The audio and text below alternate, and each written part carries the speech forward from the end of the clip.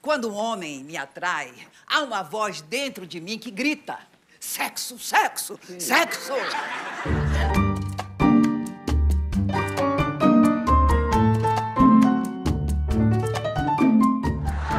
De cada minuto eu gasto 40 segundos pensando em sexo.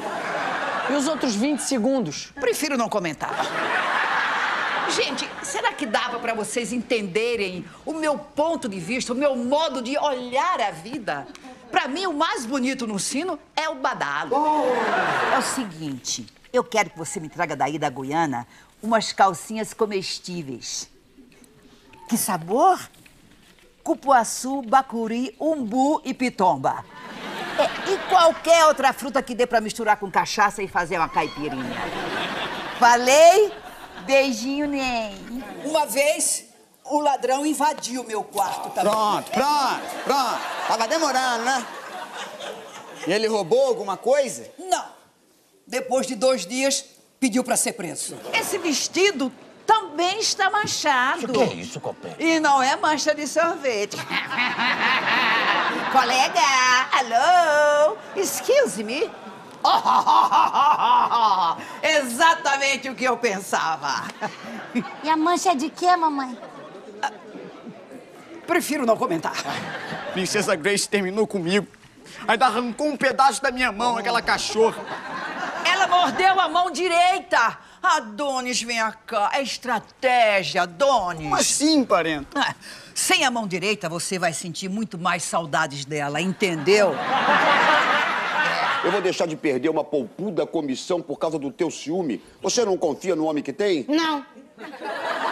Mas é não assim, no seco? Quer no molhado? Vamos discutir isso lá no parque aquático. Mas então, então depois não reclama porque a grana tá curta. É melhor a grana curta do que outra coisa. Que outra coisa, mamãe? Prefiro não comentar. Se vocês me derem um percentual na venda, eu tiro os sem terra de lá. Como, mamãe? Você ainda pergunta, Celinha, como? Pra tua mãe? Vai arrastar o líder comunitário pra cama, tá na cara. Não, pra cama não, Mário Jorge. Que eu sou coerente. Eu vou arrastar o sem terra pro mato. pro mato. Ai, ai, olha aí, gente. A mão boba voltou. Eu também senti. Que é isso, Copélia? O senhor componha-se. Isso aqui é um banheiro de respeito. Parlamentar, eu não fiz nada. Tá me cutucando? Que é isso, Copélia? Não pode fazer confusão aqui dentro. Esse banheiro é pequeno demais, não cabe loucura. Ô, mamãe, veio jantar? Não, Celinha. Já vim comida.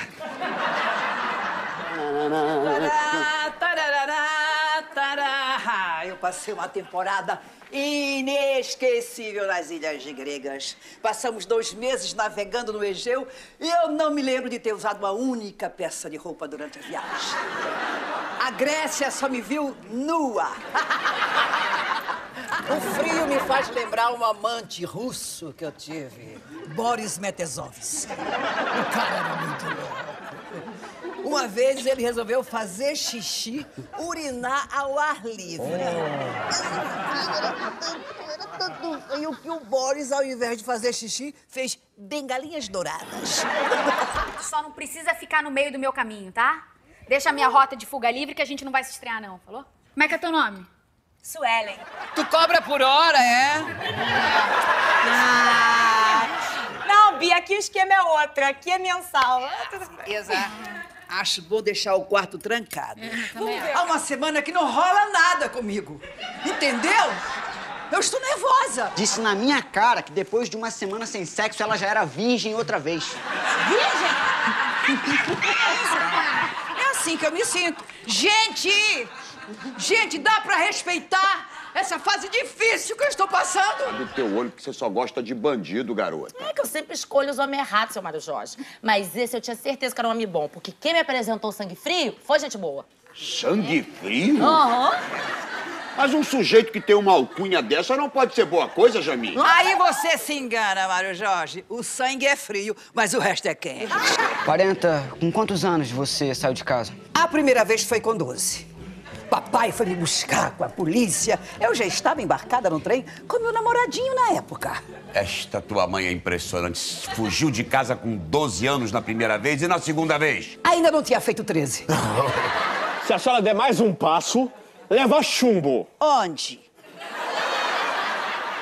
Como assim? Onde? Onde é que tu vai me chumbar? Não, porque eu, eu tenho uns pontos mais sensíveis do que outros. Vire-se. Em pé ou de cabeça pra baixo? Você vai enfiar a comunidade do porco fumado aqui dentro? Isso é um absurdo, Isadora. Mas absurdo por quê? Deixa meter, Celinha. Deixa enfiar.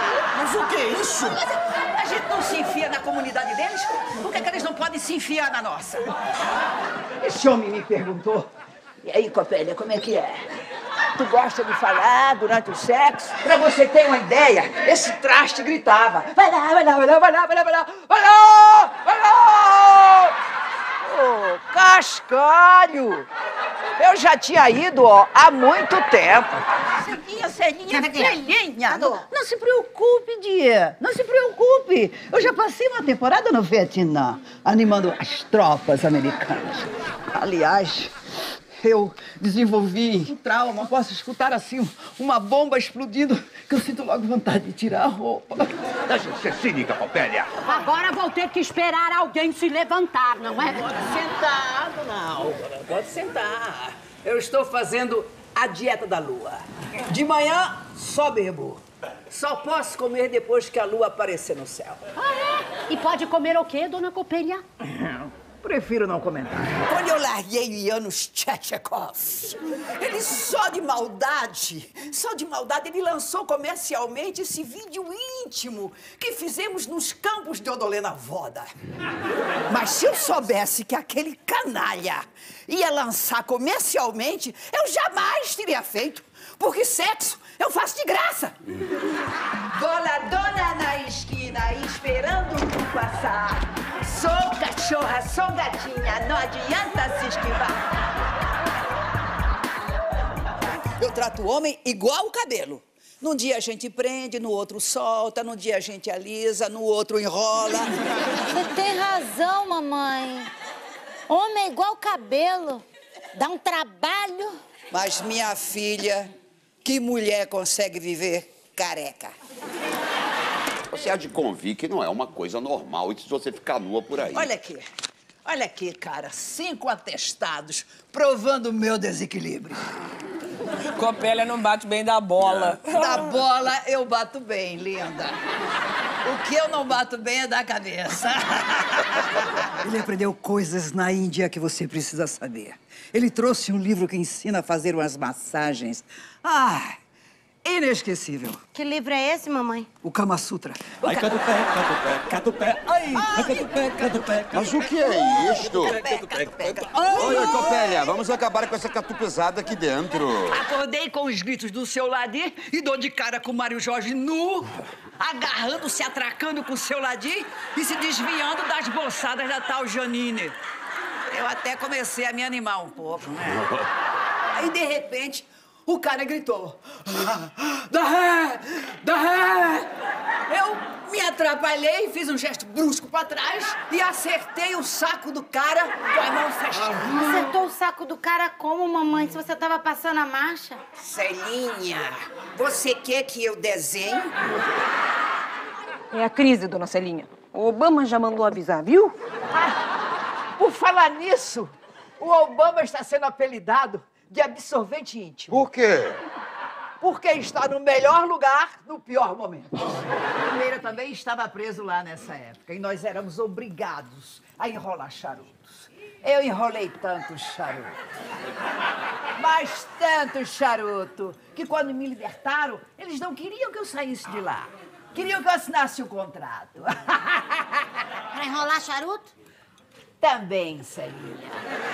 Também. Eu já dei parte do Mário Jorge e entrei com uma ação por danos morais. Vamos manter a calma, né?